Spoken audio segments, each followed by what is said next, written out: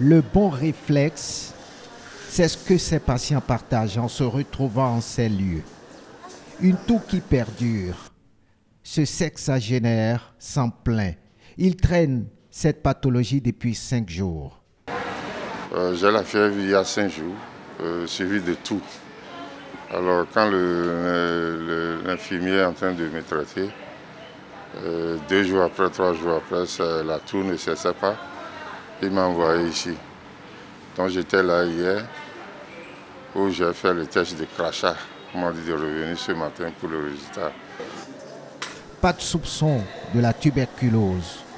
Le test du crachat l'a confirmé. Le résultat est négatif. L'hypothèse du coronavirus est alors nourrie par le patient.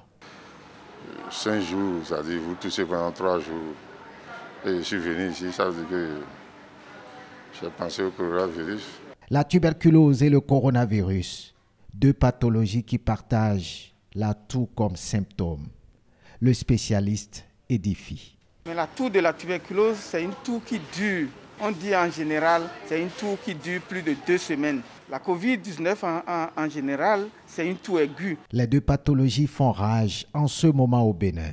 Pour le cas de la tuberculose qui est moins alarmant, le taux de décès est évalué à 7% par an. Le dépistage précoce est l'ultime alternative pour s'en prémunir. La tuberculose se trouve partout et maintenant nous savons que la COVID-19 se trouve également partout. Par rapport à la tuberculose, nous avons un réseau large de centres de santé. Nous avons actuellement 89 eh, centres de dépistage et de traitement répartis sur toute l'étendue du territoire national, dans quasiment toutes les communes du pays où on fait le diagnostic de la tuberculose. Le centre Lazare de Cotonou ne désemplit pas. Les patients y sont traités gratuitement.